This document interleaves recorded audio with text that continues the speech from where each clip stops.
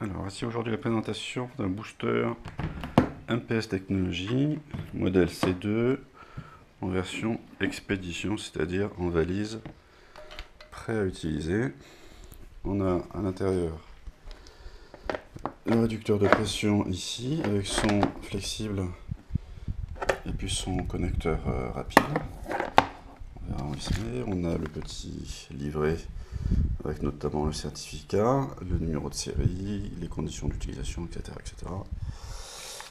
Et puis nous avons le booster lui-même, avec en noir la partie moyenne pression, en argenté silver euh, la haute pression, le manifold d'injection d'air moteur, et puis nous avons donc là la lyre euh, de sortie d'oxygène, et la lyre d'alimentation d'oxygène. Oxygène in et oxygène out.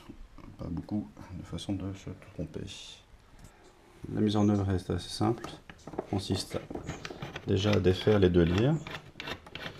Une lyre, celle-ci, où il y a le manomètre qui peut être soit analogique, soit digital, toujours chez MPS euh, à 400 bars. Le digital étant évidemment bien plus précis. Il est à 0,5% d'erreur seulement le digital la lire inlet oxygène.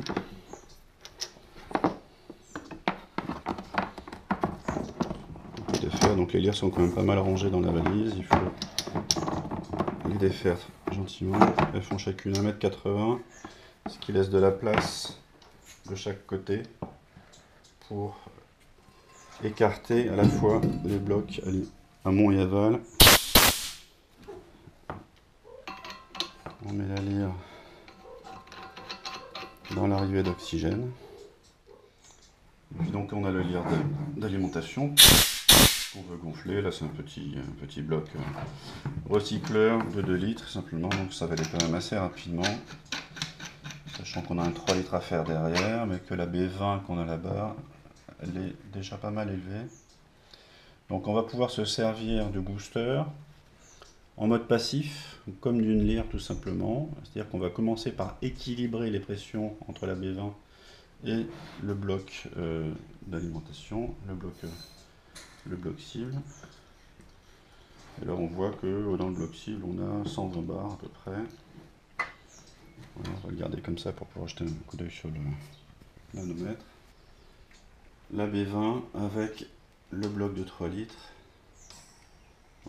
Attention à la vitesse de gonflage. On peut rajouter euh, notamment euh, des vannes de laminage, soit en amont, soit en aval, pour pouvoir gérer plus finement la vitesse d'équilibrage. donc là, on, on est équilibré à quelque chose comme 170 bars. Et donc pour pouvoir monter le bloc à 220 bars, on va mettre en route le booster. En fait, le réducteur de pression est bien fixé à l'intérieur de la caisse. Hein, c'est vraiment le modèle expédition par excellence. Tout est prêt à utiliser. Et ici, on dispose d'un petit bloc, un petit 8 euh, litres et demi, qui a été gonflé à 220-230 bars. On va vérifier. qui va nous permettre d'alimenter le booster.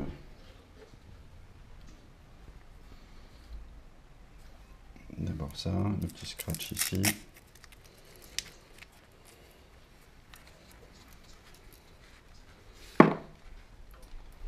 le câble de moyenne pression. Alors, le câble de moyenne pression, on peut, on peut l'allonger hein, tout simplement. Je vais commencer par fermer ici la vanne d'alimentation du booster. Et là, on a un petit connecteur rapide, très simple. Voilà. Et là, on a branché, on a branché leur moteur. On commence par bien ici mettre à zéro la moyenne pression. Donc de toute façon, à la fois sur le booster, on a bloqué la vanne, donc il n'y aura pas de poussée. Et là, ici, je bloque la moyenne pression. Je peux ouvrir la bouteille, le 8 bouteilles. Voilà, on voit qu'on est à euh, à peu près 230 bars en haute pression. Et là, je vais faire un réglage tout simple. On va régler la moyenne pression qu'on va utiliser avec le manuel détendeur. Donc, euh, il n'y a aucune crainte toujours puisque la vanne du manifold sur le booster est toujours fermé. Et ici, je fais monter tout doucement la moyenne pression.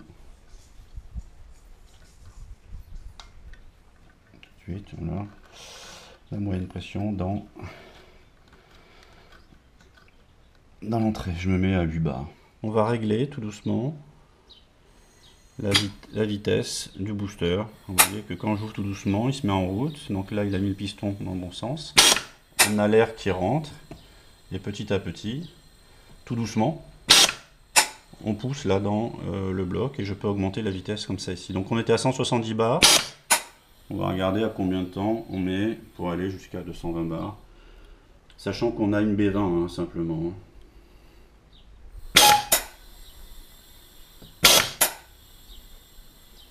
Je suis pas à fond ici sur le manifold, on peut augmenter la vitesse. C'est vraiment euh, très simple.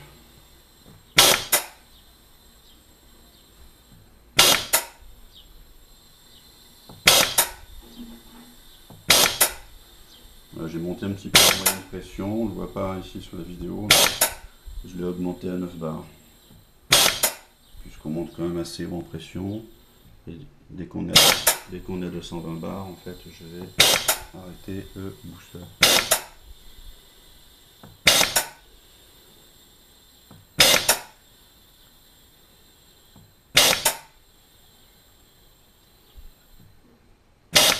Et une dernière poussée. Et pour l'arrêter, c'est tout simple ici. J'ai simplement tourné ici la valve d'admission d'air, moteur, et tout s'est arrêté normalement. Donc on a mis, euh, je sais pas faire trop attention, environ euh, quelques moins d'une minute pour pouvoir passer de 170 à 220 bars. Le petit détail hein, complémentaire, souvent on nous demande la consommation d'air pour un booster comme ça, celui-ci ou d'autres hein, d'ailleurs. Donc là, pour mettre 50 bars dans un 2 litres, euh, on voit qu'on a consommé euh, allez, 10 bars, à peine plus de 10 bars, dans un bi 8,5 et pour monter jusqu'à 220 bars. La deuxième partie, ici, on va simplement euh, changer, puisqu'on avait deux recycleurs, on a une deuxième bouteille de 3 litres à gonfler. Donc ici, ce qu'on va commencer par faire, c'est isoler avec la valve la sortie haute pression du booster. Fermer la petite bouteille de 2 litres. Et purger. La purge, en fait, elle est vraiment bien pratique parce qu'on va purger que ça. Donc, quand vous, à chaque fois que vous changez de bloc pour faire vos gonflages, le gaz qui va s'échapper correspond à ce volume-là. On va pouvoir réouvrir la B20, c'est-à-dire la B50, hein, votre bouteille source. Nous ici, on est en voyage, donc on a pris petit tampon. Et je vais simplement remettre en service le booster. Donc en vitesse, allez, et là sur la 3 de faire quelques dizaines de secondes pour la remettre à 200 également et préparer une nouvelle période.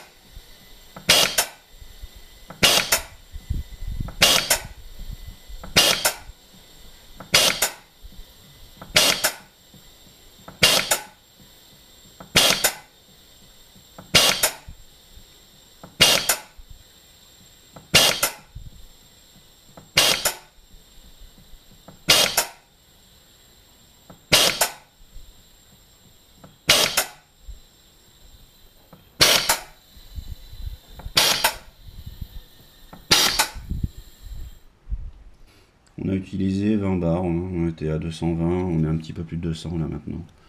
Ça nous a pris 20 bars sur un 8 litres et demi, un b 8 et demi, donc euh, vraiment pas grand chose. Et maintenant on peut tout simplement recommencer à plier la machine et la ranger telle qu'elle était. Le connecteur haute pression, le connecteur moyenne pression d'air, tout simple.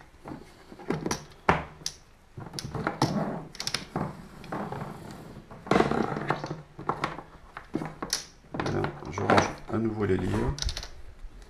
Il faut mettre les bonnes petites longueurs qui vont bien pour pouvoir les visser dans les connecteurs DIN femelles. C'est pas la peine d'aller jusqu'au bout non plus, hein. ce qu'il faut c'est que ça tienne. Il y a quand même des petites vis qui, euh, servent pour bloquer les connecteurs DIN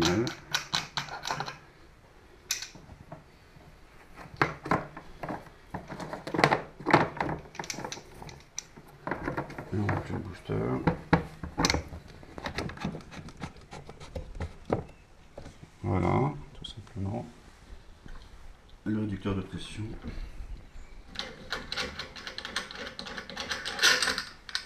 Le réducteur de pression qui est toujours livré en DIN, hein, en fait, en standard, puisque on fait ici modifier euh, cette pièce de façon à ce que ce soit utilisable directement où que vous vous trouviez.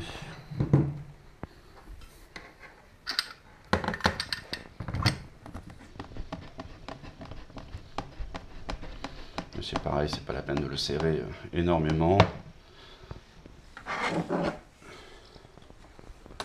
On enroule le tuyau moyenne pression.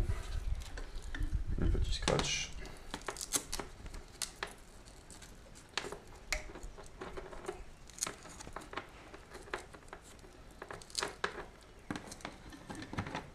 Ici, et un petit document que vous pouvez laisser à la maison. En principe, vous n'en avez pas besoin en voyage.